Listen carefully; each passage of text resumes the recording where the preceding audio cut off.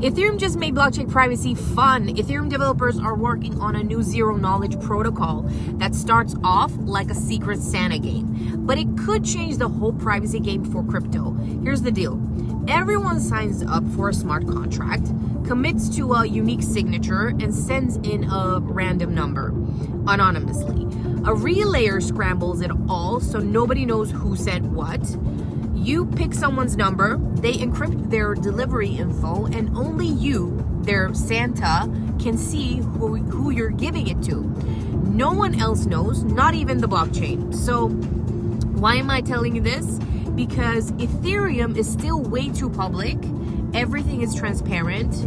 But imagine if we could vote, run DAOs, drop tokens, or report stuff all anonymously without Sybil attacks or privacy leaks.